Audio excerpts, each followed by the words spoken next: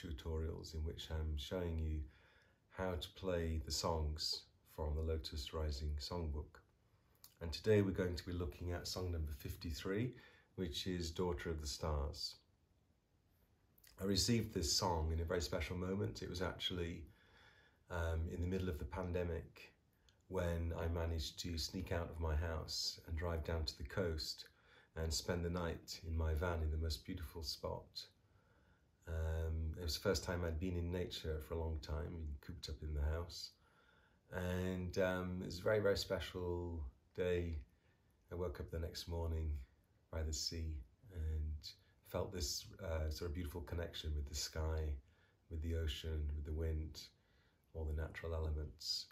And um, in that mood, I just sort of felt this song emerging um, in kind of harmony with the elements around. So it's a very simple song and has only four chords in it, although one of the chords is a little bit unusual because it's my own version of a B7 chord. And I should say for anyone who's watching one of these guitar tutorials for the first time, I'm not attempting to be a guitar teacher here. I've never studied the guitar myself, but I have been playing the guitar for many years, accompanying myself in songs and hymns, sacred songs and devotional music circles, medicine circles. And so I have developed my own style and that's what I'm here to share with you. Um, and so the Daughter of the Stars song, I, you can see I've got the capo and the third fret here. Now, the, when you put the capo on the guitar, it, it, changes the sound of the chords that you're playing.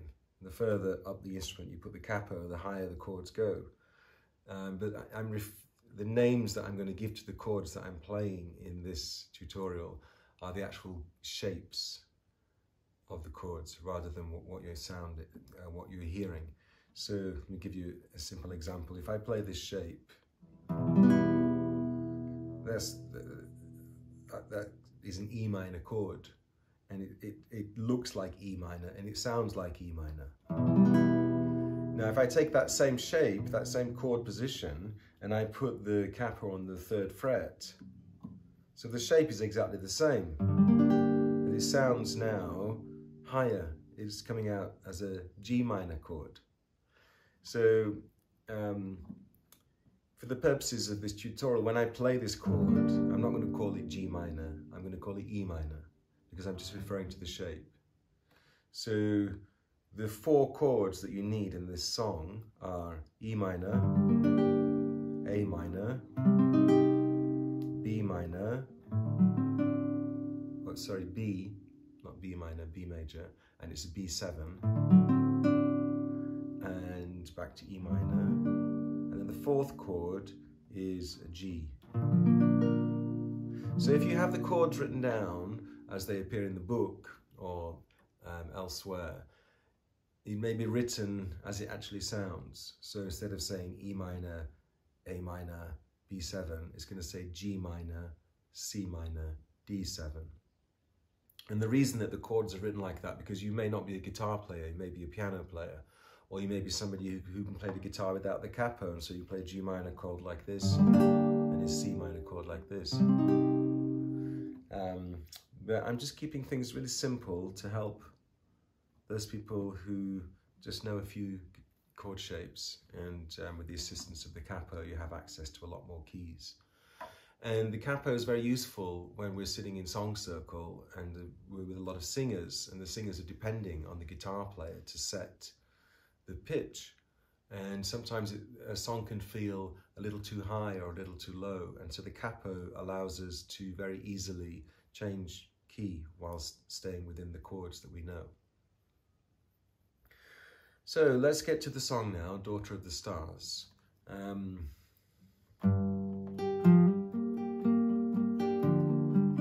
has this very leisurely pace. It's kind of slow fall. One, two, three, four. One, two, three, four. Now the way that I'm playing the guitar with this, uh, the notes that I'm picking with this hand, there's not any particular pattern or anything that I'm really aware of what I'm doing. It's just a kind of feeling of having this hand holding down the E minor chord shape and this hand is free to, I could strum a little bit if I like at certain points. Sometimes I might want to emphasize the bass note because that gives a nice feeling of kind of depth to the chord rather than just staying only with the high notes. And also in terms of the the fact that it's a four beat rhythm, slow four, it's nice to use that bass note emphasize the one.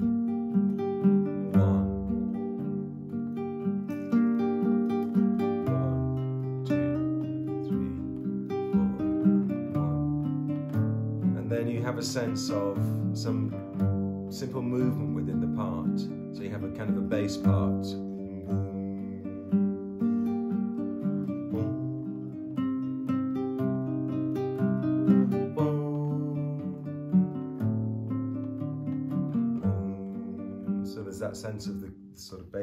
Is very slowly defining the movement of the chords as we move through the song and then the other notes are just sort of providing some rhythm and also a sort of this feeling of gentle flow in the way the notes.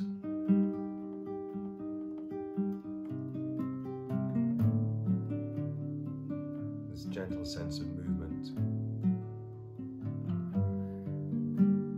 So let's just look at that sequence. The first four chords. We go E minor, then we're going to go A minor, and then we've got this B7 chord coming up. And back to E minor. So I'm just going to pause here and show you exactly what I'm doing for that B7 chord. Um, and I'm, as I'm a self-taught guitarist, I never literally had any lessons or looked at any guitar books or any tutorials like this on YouTube. I just literally picked up the guitar and started playing. So when it came to B7, I figured oh, how to play that chord. And then I just found this shape and I, I, and that's the way that I play B7. I found out later it's not the way most people play, play B7. But I like this sound. Um, it has a slightly kind of um, um, yeah, it's got this mysterious aspect to it. Um, so let me show you. It looks like this. You can see which um, fingers I'm there holding down the strings. Um, so basically, if you think of an E major chord, which is like this, standard chord, everybody knows that. Now, if I take these three fingers and I just move them one string like this, in the same shape, and then I take my pinky finger and I put it here on the third string, second fret. So those are the four fingers that I'm using and it makes that shape and it sounds like this. The nice thing about this chord is that this finger is playing that low F sharp, which um, becomes part of the chord. So if you're playing bass line as part of the, the way I was showing before,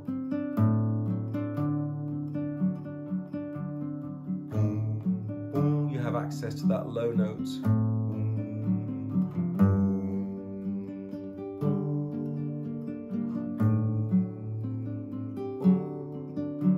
Now, if you're not at that level of being able to pick out bass lines and can't really follow what I'm saying in that regard, that's fine because even just strumming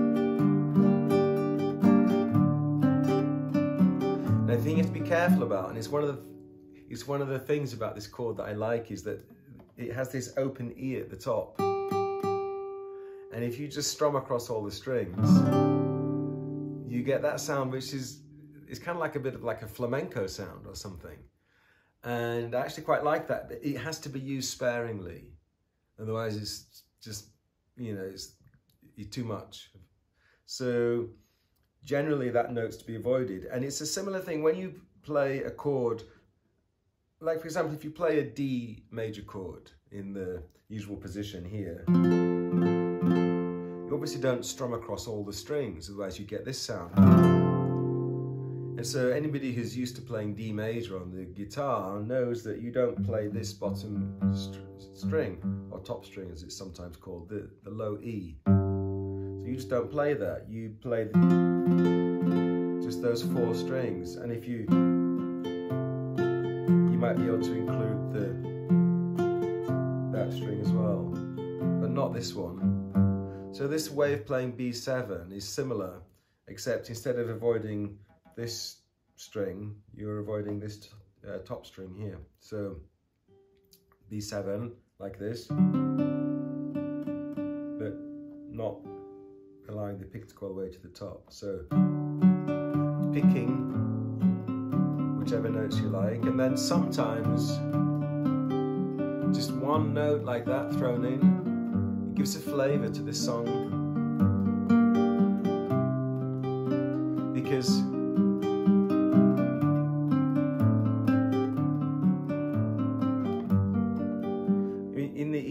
chord position, this note is part of the chord. And in the A minor chord position, this note is also part of the chord. When we get to the B7 chord,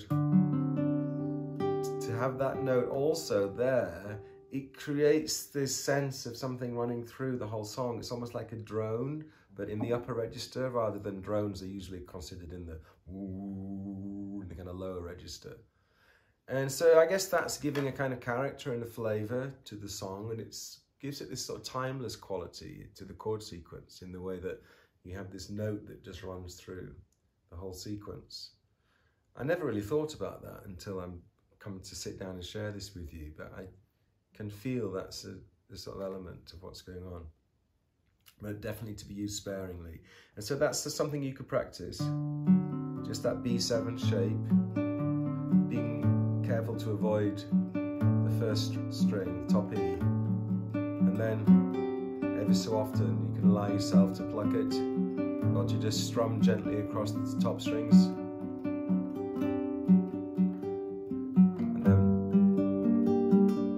and I have to say, if you are accustomed to playing a B7 chord with a different shape, a more standard shape, that's perfectly fine as well. I'm not saying you have to learn to play this like I play it, but I'm just sharing with you the way this kind of um, pattern of chords evolved for me. So let's look at that first line, uh, the first um, sequence of four chords, and how it fits with the lyrics. So we're just just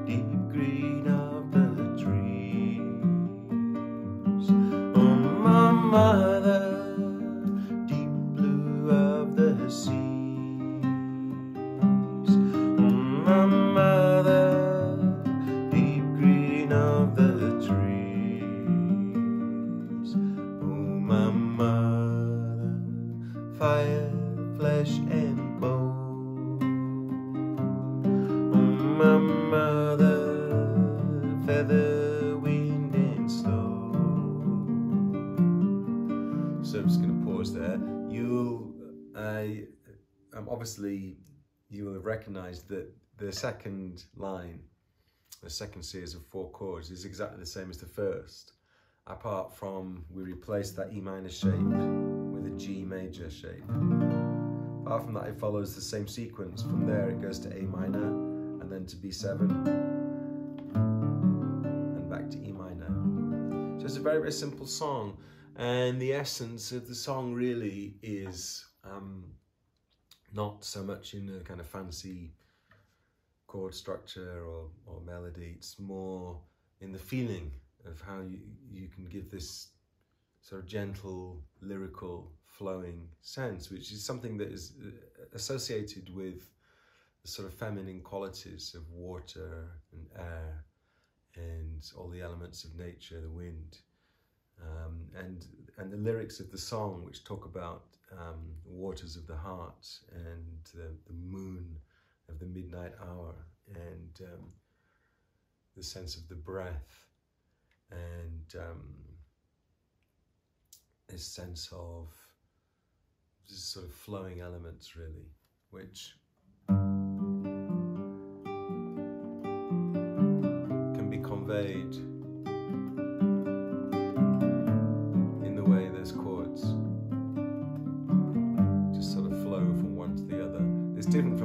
song which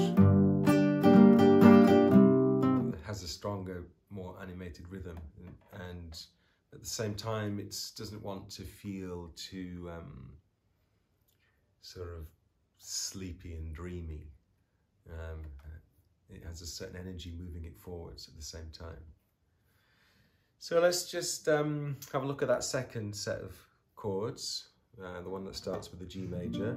So we're going to sing the third and fourth lines, fire, flesh and bone, and I'm going to count you in. One, two, three. Oh, my mother, fire, flesh and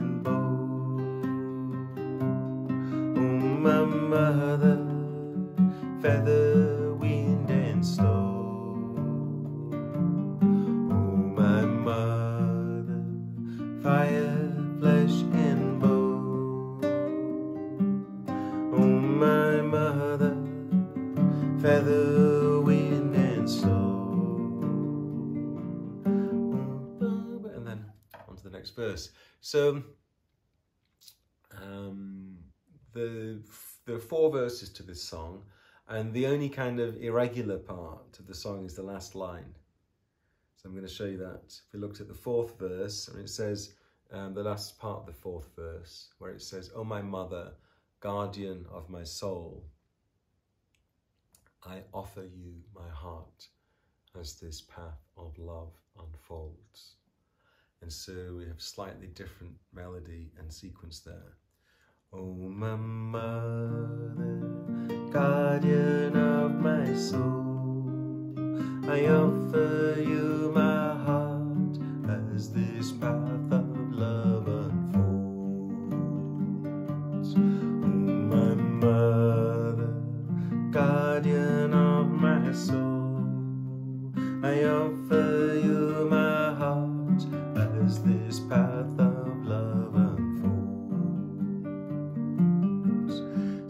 happens there is um, the sequence starts the same as in the previous verses, G for four beats, A minor for four beats, and then instead of going to B7, you just stay on the A minor for another two beats, and then change to B7 for just two beats before going back to the E minor. However, what I tend to do there um, is I play the melody for those lines. And there's kind of a reason for this, I suppose, which is that um, the context of these songs we call medicine songs, and they come from medicine ceremonies um, or from kind of song circles where people are singing these healing songs, devotional songs. Um, the, the role or the function of the guitarist is very much a supportive role where you're helping the people who are there in the circle with you to find the pitch and the melody and the rhythm of the song. And so when you come to a place in the song where the melody suddenly changes, if people are not familiar with the song, or even if they are familiar, it might catch them unawares, it might catch them by surprise. And so at that point, as the guitarist, you can help people, you can support people that little bit extra by just switching to the melody, and then the voices will naturally follow you. Otherwise, you sometimes get these clunky moments where half the people know what's coming because they've heard the song before or they know the song, and the other half are just joining in and they're not expecting the fourth verse to have a different melody. So you get this kind of clash and it can sound a little bit clunky. And to a certain extent, that's fine because we're not in, you know, we're not in performance mode, we're just sharing songs. But uh, let me show you what I mean about how the playing the melody there can help. Oh, my mother, guardian of my soul, I offer you my heart as this path of love unfolds. So instead of going A minor,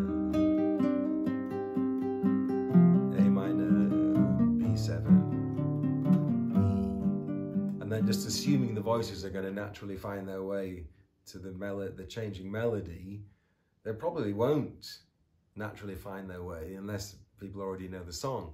So the guitarist can really help there. You just switch the melody.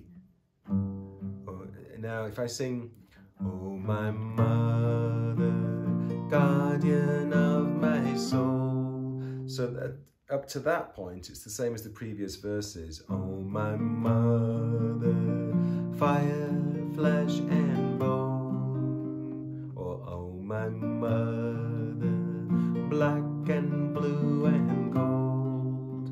So the expectation there of the chords following the melody as it's been sung, um, the expectation is unbroken.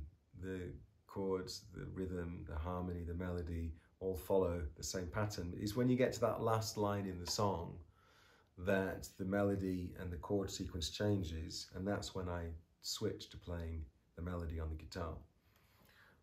Oh, my mother, guardian of my soul, now here I offer you my heart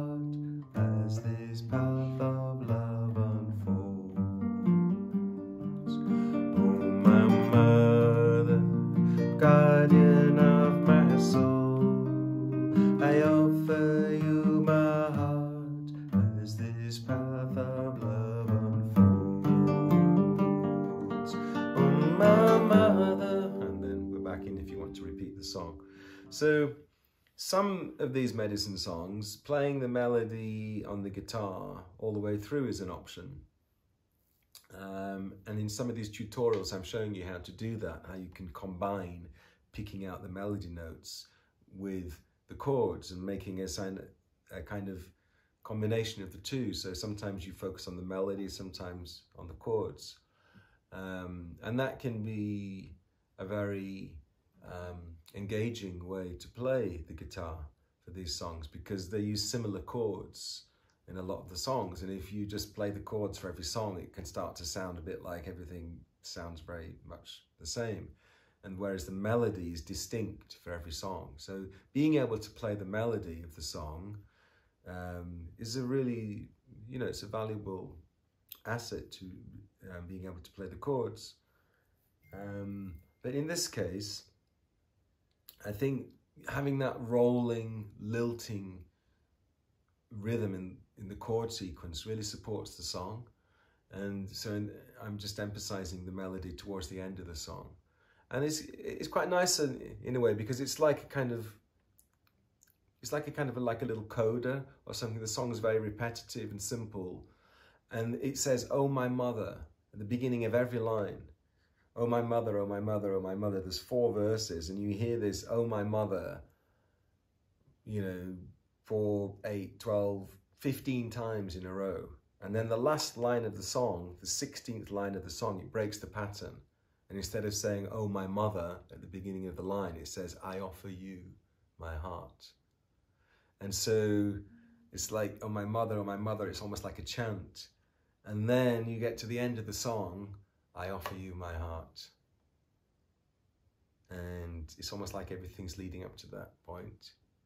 And so to break the um, to break the pattern of what the guitar's doing at the same time as the voice breaks the pattern of that kind of chanting, Oh my mother, and have the guitar and the voice step outside that pattern together, Oh my mother, oh my mother, oh my mother, I offer you my heart. Oh my mother, guardian of my soul, I offer you my heart as this path of love unfolds. And it's like kind of, you know, it's like the song sort proceeds in this way and it's very repetitive and then you get to the end and something different happens and it's like a kind of sealing of the the journey that we've been on.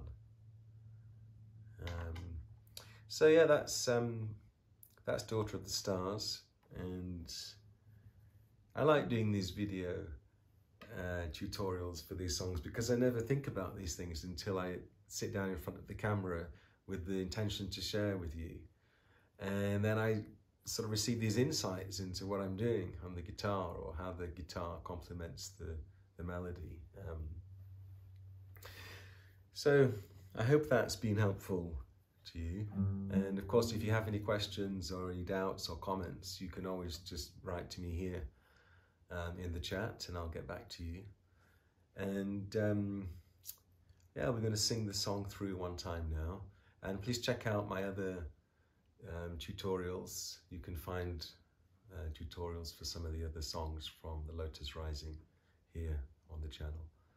And um, I'm very happy to that these tools and these channels exist to be able to share in this way. And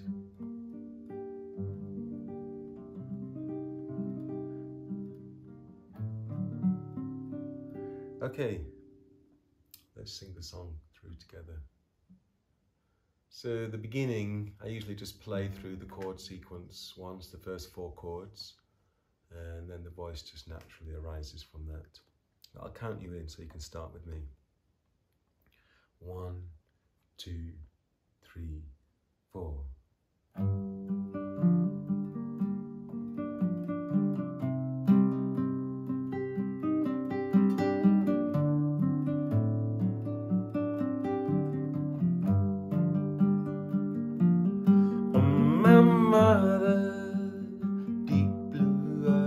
Humming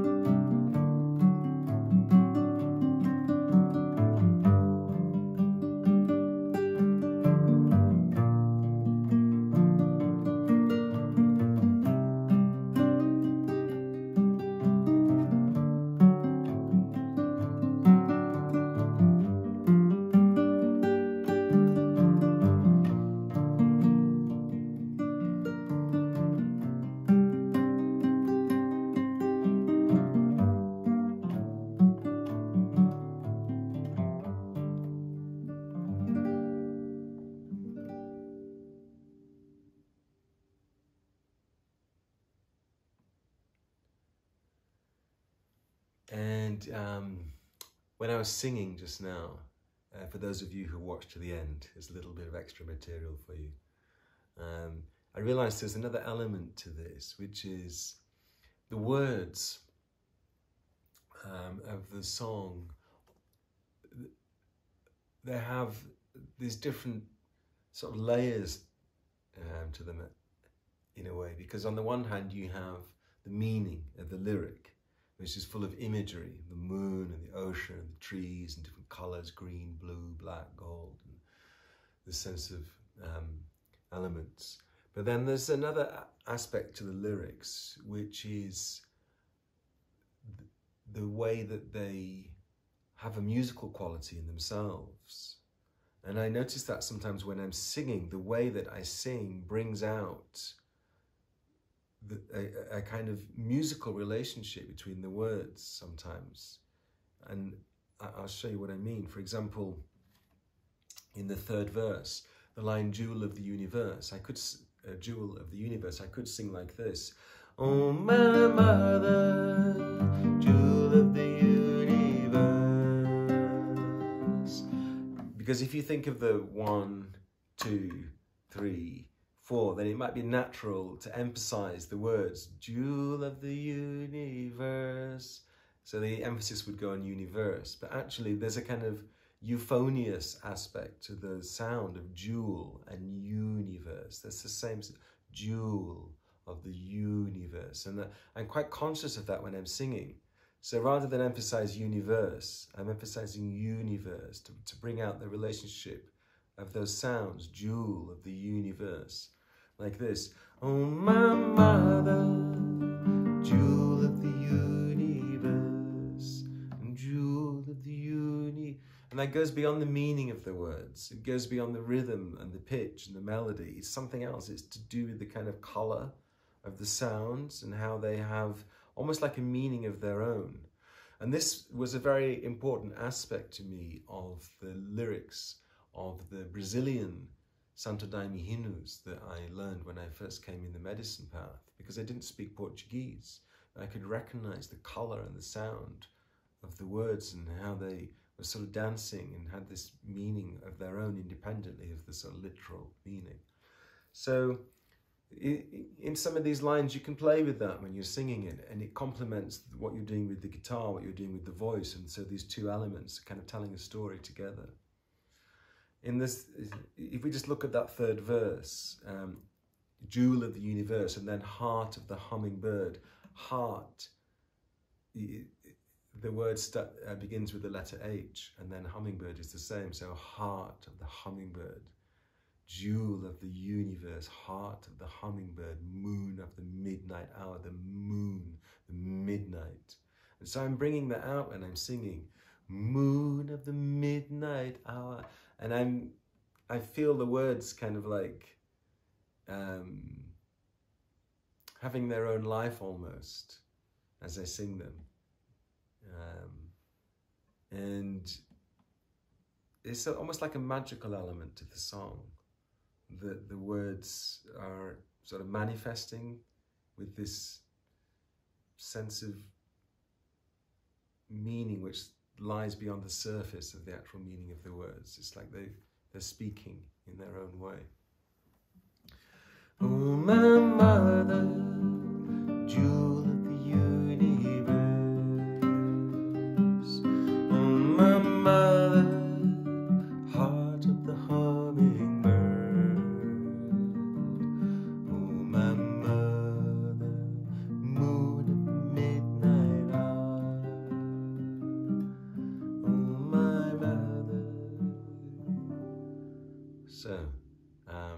was just something that occurred to me when I was singing then. I thought I'd share with you.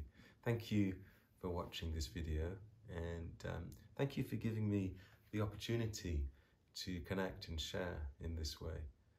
There's very personal songs and um, I really appreciate the connection. So, thank you.